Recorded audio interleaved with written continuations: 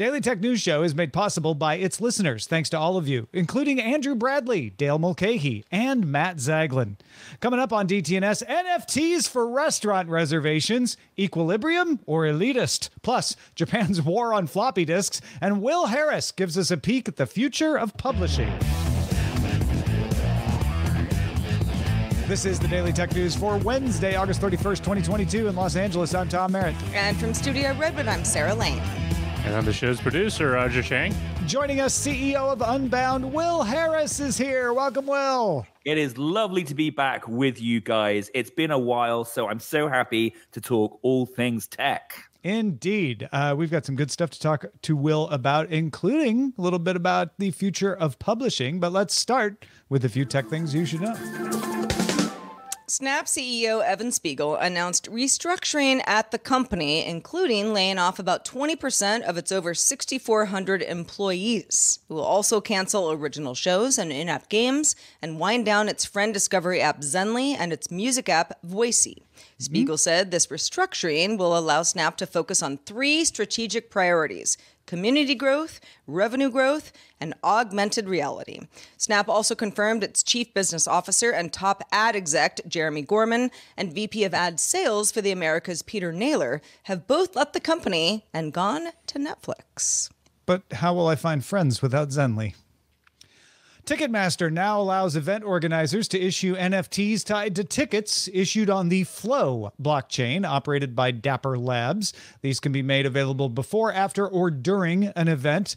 Uh, they can serve simply as memorabilia, you know, a record uh, that you would get if you had a paper ticket. They, you know, in the world of e-tickets, you don't get otherwise. Uh, they can also enable other rewards that go along with attending the event.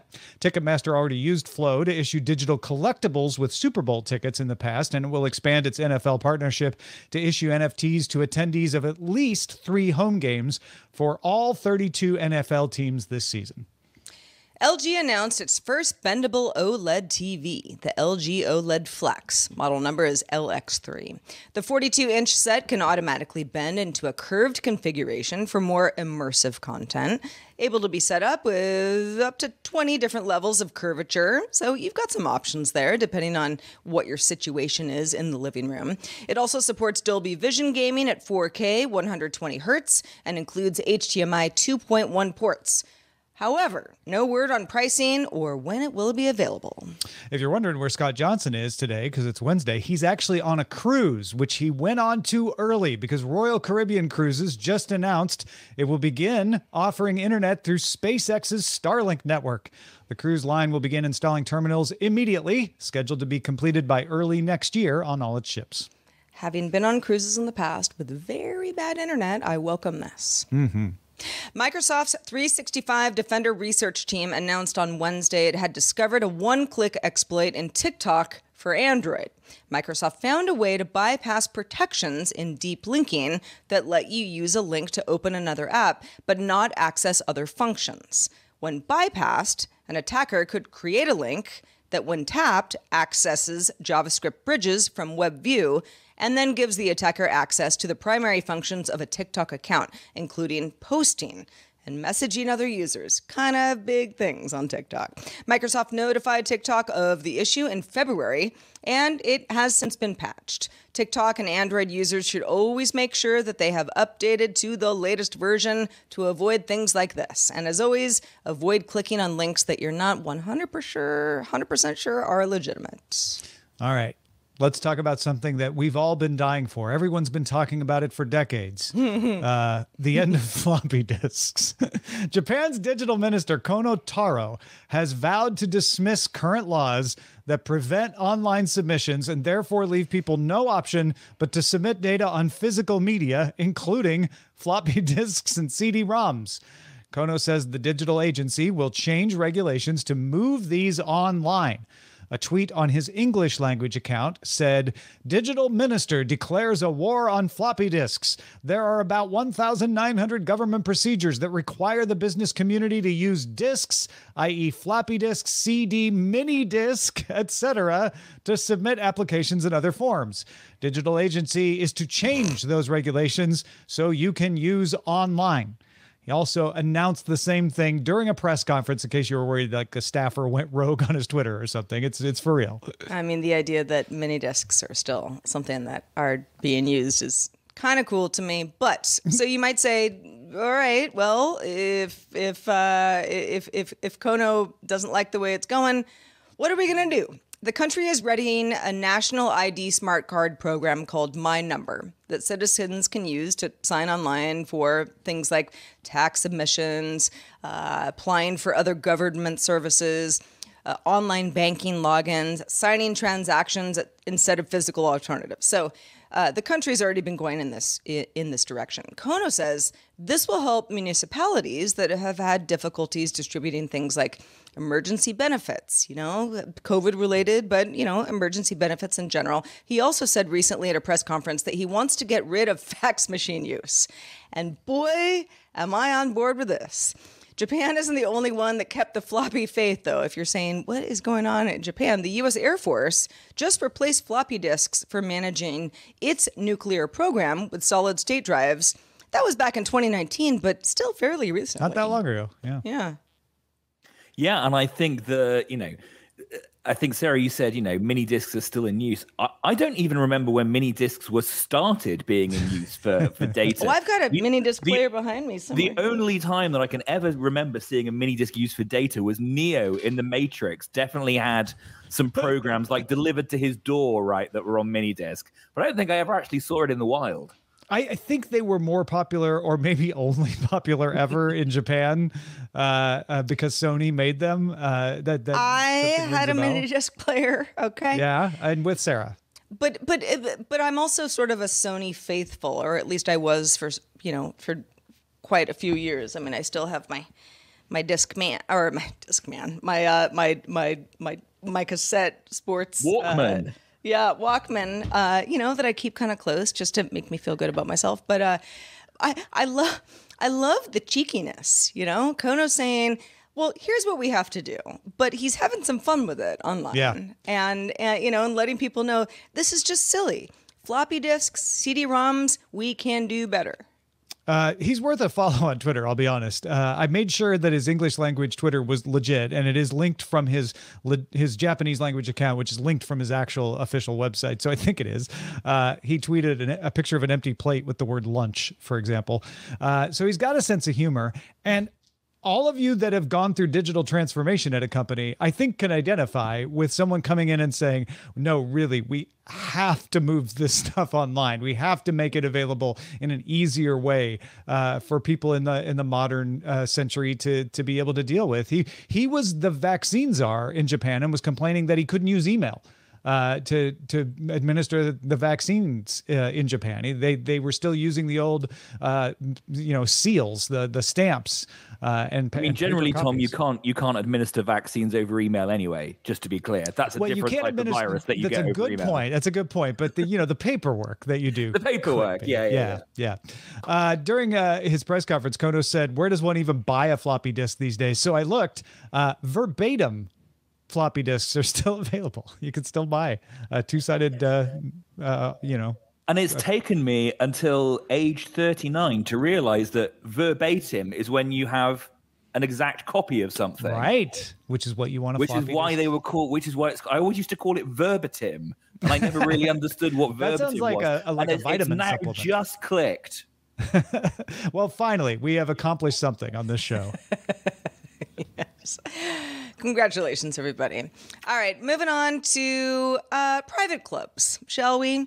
Something called SHŌ Club is billing itself as San Francisco's first NFT based restaurant. It will serve California style Asian food like sushi and irori cuisine, which is described as Japanese farmhouse food on a charcoal grill. Sounds like a private club. There will also be a retail market on the ground floor for takeaway food, so there's more to it.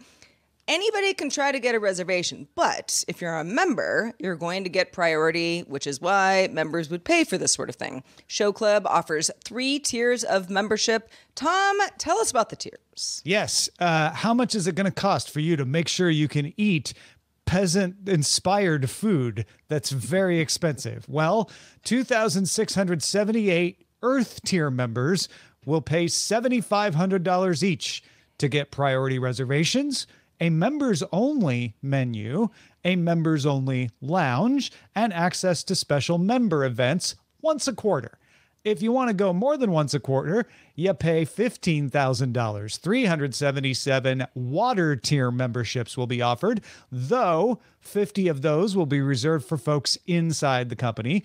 Water memberships will add on to the Earth membership, complimentary valet parking, or car service, access to all the events, not just one a quarter, an exclusive event for just the top two tiers in case your exclusivity needs more exclusivity, and a special monthly omakase dinner reservation. You get the reservation. You still have to pay for the food. Finally, there are 20 fire memberships. Fire memberships cost $300,000 each. Along with everything in the first two tiers, these members get a monthly omakase experience at their home. You still pay for the food. A share of the restaurant's revenue, a seat on the fire board, which is not the actual board of directors, I assume, uh, and a, a, curated trip to Japan.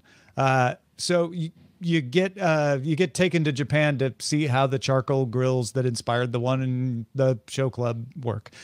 How is this whole thing going to work, Sarah? Well, so right. well, so far it sounds exactly like a normal members club, and I don't see where the NFT comes into it at all. Yes, well, Sarah, tell us where the NFT comes Wil, in. Wil, listen to this. All the perks are for the lifetime of this NFT that you have now purchased no matter who holds it, except for the trip to Japan, that one can only be taken once. So I couldn't say, like, eh, Tom, I'm not going to Japan, you go instead. The restaurant won't issue any new memberships, but you can sell your NFT to somebody else on OpenSea using Ethereum.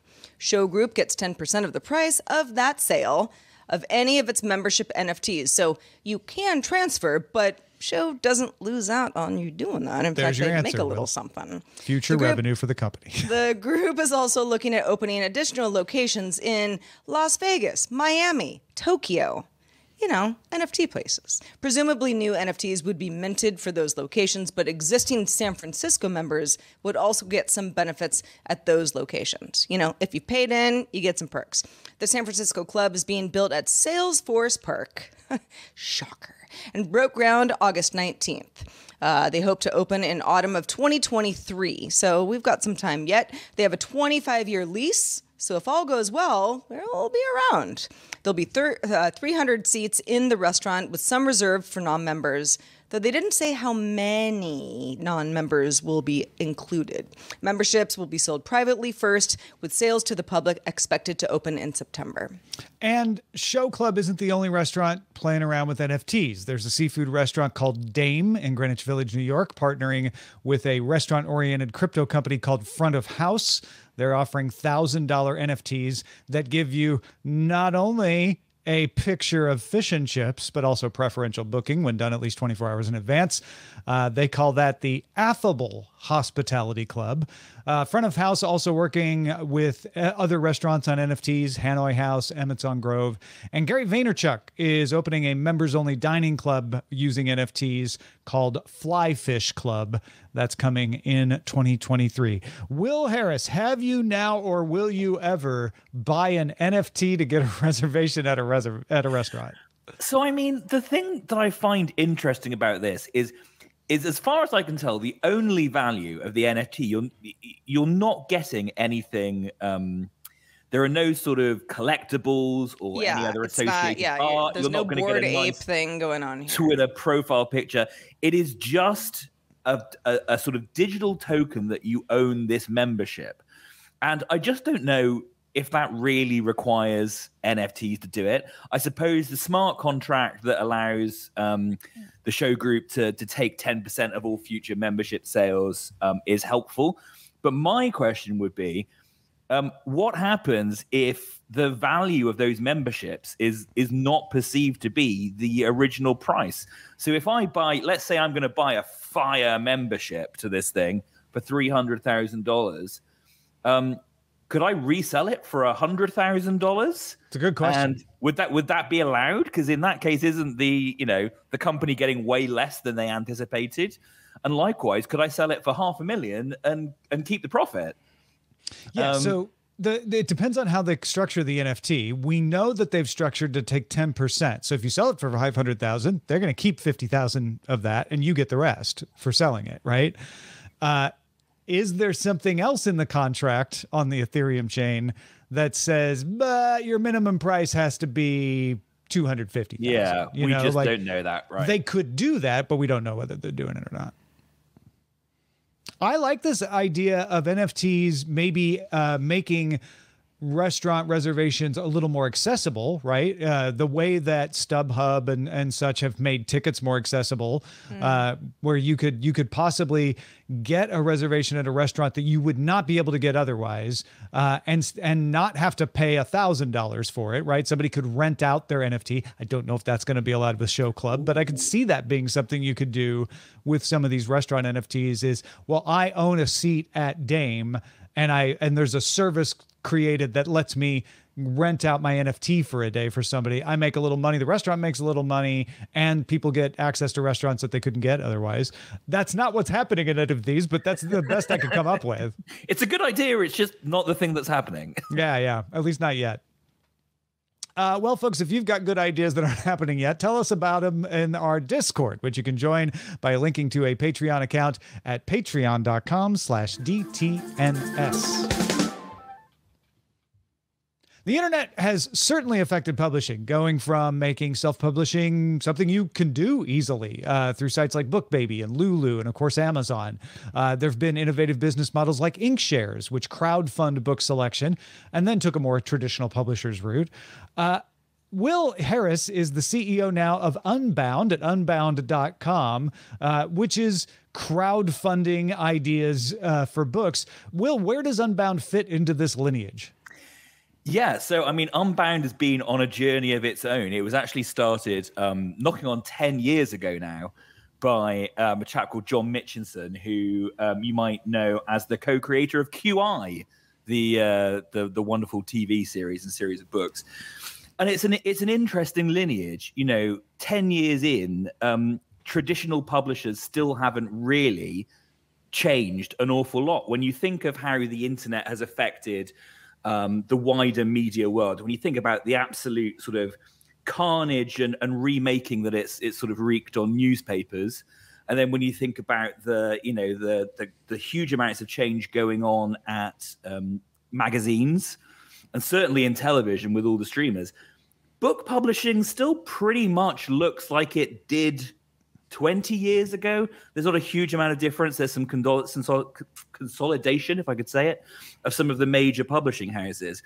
But I think there is still lots of opportunity for disruption. When you think about digital disruption in publishing, you know, you can argue that actually the biggest digital disruptor of publishing in the last 20 years has been Audible, right? With this kind of credit and subscription system um, for purely digital books. Um, ebooks haven't been quite as successful as as people perhaps thought they would be. E magazines certainly haven't been. Um, so I think we're still looking to explore what the potential is for digital disruption in the future. And you know, crowd the, the crowdfunding element of our business is is just one way that we're looking at doing that. So so what kind of authors is Unbound for? If I if I'm a writer, which which I actually am, uh, you know, hypothetically, if you were a writer, yeah.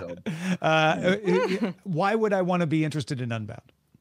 So I think um, the way that we that we run the crowdfunding, so we we try and reach out to authors and and work out okay, what do we think we can get to fund? And that enables you to talk to a much more diverse set of authors. Because if you think of the traditional publishing industry, it's generally pretty risk averse because the model is you want to fund, you know, you as the, the publishing house are funding the book up front. If it doesn't sell, you know, you're not going to recoup your costs on the printing. So because of the crowdfunding model that we adopt, we actually have um, much more ability to work with a, a wider array of authors. So, for example, we work with a lot of first time authors. Um, we have a fantastic um, woman called Ariel Anderson at the moment who is writing a memoir on her journey from being a Jehovah's Witness mm. to uh, a BDSM video model. Oh, that's a change. yeah, she has a journey before but because you know she's got a, a, a fan base, obviously for what she does, we can work out how to how to make that happen. We have got you know an incredibly diverse range of, of, of books and authors from from Ariel as a first time author through to um, we just funded a book by a fantastic woman called Sanjana Moda, which is all about um, well, it's a, it's a cookbook of vegan Indian food, but it's very cool Gen Z Indian food. Um, and you know, publishing books for Gen Z in general is pretty difficult because they don't mm. buy a lot of books on the whole. Um, but the phenomenon of, of, of the book movement on TikTok, BookTok, has has made that possible for us to look at, all the way through to. Um, I'm sure you guys will know Douglas Adams, the the sadly late author of The Hitchhiker's Guide to the Galaxy. Mm-hmm. Um, when when Douglas died, he left his his whole sort of office and estate and all the little post-it notes and the scrapbooks and the notebooks and the six by fours for wedding speeches. Um, and we worked with um, with his with his college to digitize all of that and create a compendium called 42 um, of all those of all those sort of musings. It's the last sort of unpublished works of Douglas. So I would say from from back, it's kind of if you've got a good idea for a book and you think it can fund, we we would love to talk to you. So it's it's not as wide opening as a self-publishing, where right where I just go in and upload my book and start publishing it. Uh, but it also but it does have that crowdfunding aspect of bringing an audience in to help you know get it launched and getting them invested at the beginning. It sounds like yeah, exactly. So um, this you know the sort of main difference from self-publishing um, is that on the whole we are publishing it. So we will you know we have a team of editors in house that will do copy edits and yeah, development yeah. edits and structure edits. And if your book's a bit controversial we've got people that can do a legal read. Um, we will print it we will ship it we will do all of those kind of things. So um, it is yeah in that sense quite different from the from the um, self-publishing model. and as a reader which i also am uh, i obviously could go to unbound.com and order them can i find them elsewhere Yeah, so we um, we have everything that we that we publish is available on unbound.com. But one of the interesting things is when you think about um, funding a book, you've obviously got that crowdfunding element, but then you can think, okay, so what actually could go and be successful in Amazon? What could go and be successful in Barnes and Noble? And sometimes you get books that will have, you know, a fantastically huge crowdfunding and and sort of direct audience. Um, for a, something particularly niche. Um, but nobody and you know nobody's ever going to look for it on Amazon. It's never going to hit those Amazon lists. Sometimes you'll have something. We have a book at the moment called um, Cain's Jawbone, um, which had almost no crowdfunding um, element to it. It was very low cost. Originally written in 1934 um, mm. as a crime thriller, but you don't ever find out the sort of who done it oh no unless you can solve the actual the clues are hidden throughout the book uh, uh-huh. so while we had almost no crowdfunding for that it is selling tens of thousands of copies every week in about 10 different languages that we've translated wow. it into as people do that sort of um, the meme of, of Charlie from It's Always Sunny of ripping out all the pages and putting the red string on the walls and trying to work it out. It's gone absolutely nuts on TikTok. That's great. Um, so that's one of those things where actually we were, you know, we weren't expecting that to be huge, but suddenly it takes off, and then the trade sales, you know, into Amazon and, and those places have a have a, a completely different life of their own. Well, uh, you were nice enough to send me some examples of stuff at Unbound. So on the extended show, uh, if you're a patron, folks, we'll be uh, we'll talking a little bit about things I learned from Mario's butt, as well as uh, several of the other books uh, from Unbound. Thank you, Wil. Well, it's an absolute pleasure, and I will just um, add that anybody listening um, on DTNS, we we put together a little a little special for you. Um, if you want to use DTNS fifteen at checkout, you can get a nice little discount off anything oh. on the site. That's oh, lovely. That's awesome. DTNS fifteen. Good to know.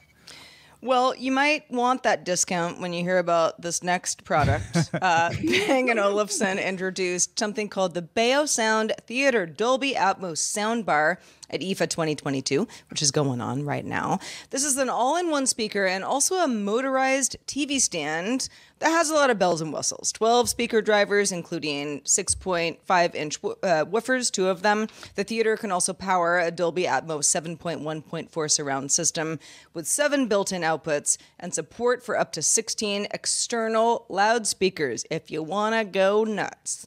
The clincher is that the interface bracket is motorized, so that makes it easy to rotate the TV to find the best viewing angle. Maybe you're in different areas of the room, that type of thing.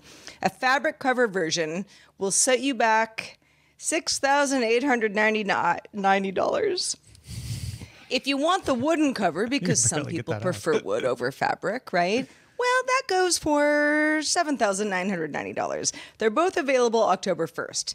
This is pricey stuff, but B&O says the design is inspired by sailboats. And it kind of does look sailboaty, really, when you see it, with either an option for the stand to sit on the floor or for the unit to be wall mounted. Now, I have to say, uh, not having seen this in person, I've only seen images online. I don't like it. Not for also, that price. just to be clear, it's a TV stand for seven thousand dollars, but doesn't include the TV. Right. It No, does the include T- the speaker, but not the TV. Right. No, the TV, you're on your own for that. yeah. Wow. But it can be swapped out once you mount the TV. It's modular, yeah. B&O has has said it's you know it's going to be you know you just get a new TV and everything else is going to work as planned. I just think it's the whole thing is kind of ugly. I mean, it's the price of a SHŌ Club Earth tier membership. I like, what do you want to do? Want to go to New York's hottest club? You could or, be eating or some do you want to get this like motorized TV stand? Yeah, it, you, what you need is to get both, so you can have the omakase sushi in front of your TV Yes. stand. See, that's a- a- that's what I always want. I'm like, the- screw the club. And then the motorized thing can move with the chef as Yeah, they well, serve you. So at first I was like, motorized. Okay, like how is this good for me? Now, granted, everything in my house is, you know, I, I tell everything audio wise, you know, what to do. So I'm into I'm into the future of things like this. I have a TV stand on my wall. Um, it's you know it's mounted on the wall, uh, and you know I can I can move it in various directions, which proves very helpful just because of the way that my apartment is set up. The motorized thing is silly to me because I'm never really far away from my television. But if I had it, maybe I'd like it. Yeah, maybe you you wouldn't have to get up to change the angle. I would get up like. I, actually, I think I prefer change the, LG angle. one that automatically curves or not based on on what you want to do. Yeah, no ish. All right, let's check out the mailbag. What do we got there? Uh, John wrote in and said, This is in response to recent discussions we've had about aerial photography. In fact, yesterday on GDI, uh, you might have heard our conversation about France cracking down on people who have swimming pools and have not properly declared them to the tax authority.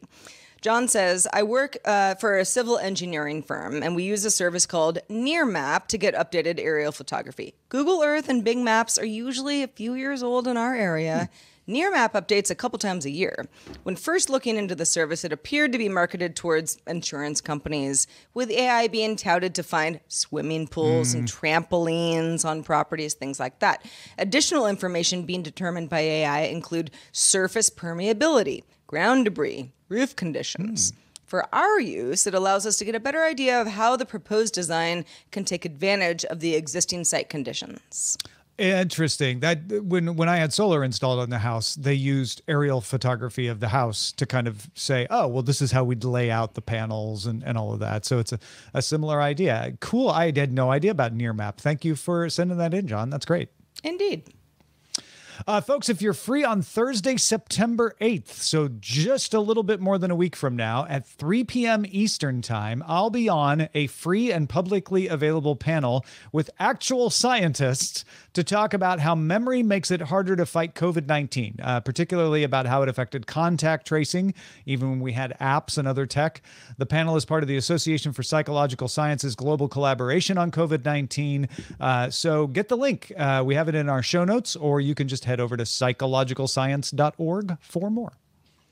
Wil Harris, so nice to have you on the show today. I don't know how long it's been, but it's been a while. Uh, let folks know, besides Unbound, where they can keep up with your work. It's been a minute and it's been um, absolutely fantastic to be back. Um, so you can follow um, Unbound on Twitter at, uh, at Unbounders.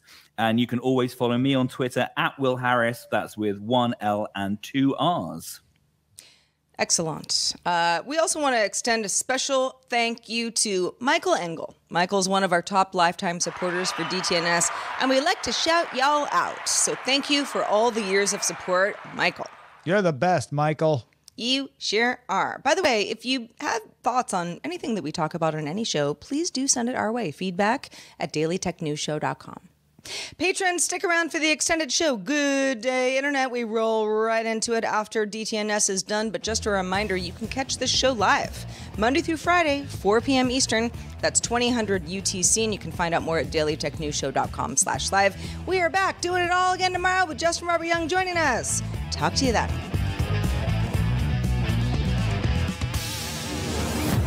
This show is part of the Frog Pants Network. Get more at frogpants.com. Diamond Club hopes you have enjoyed this program.